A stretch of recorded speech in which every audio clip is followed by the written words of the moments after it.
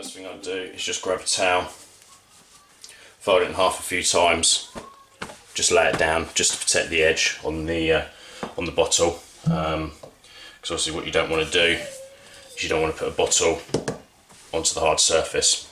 I can then have the bottle like that, run a bit of water, align it up, and then I can start drilling. Right, okay, so once we've once we're all set up, I need to do is just take the five mil bit, and uh, what I not what I normally do is I just lay it down, just start it off a little bit, just enough so you make a, a tiny little sort of indent, a little mark. So because what you don't want to do is when it's underwater, is you want to be able to put the drill bit straight into the hole because if not what it might do is it might slip and then what you do is you end up scratching all the bottle all the way around.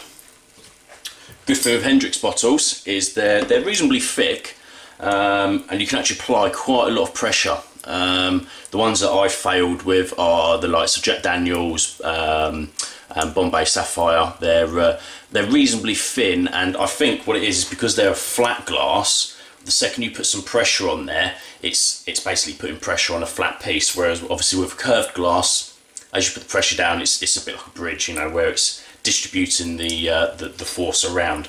Um, so what we can do is basically run it under a small little bit of tape. You don't need to don't need loads, don't need lots of water, um, and basically just start drilling in a small little circular motion.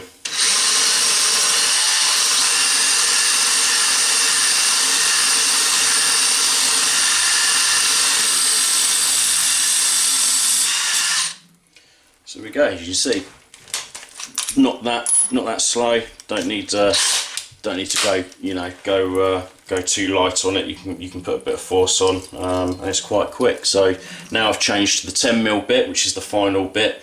Um, this should should go through quite nicely.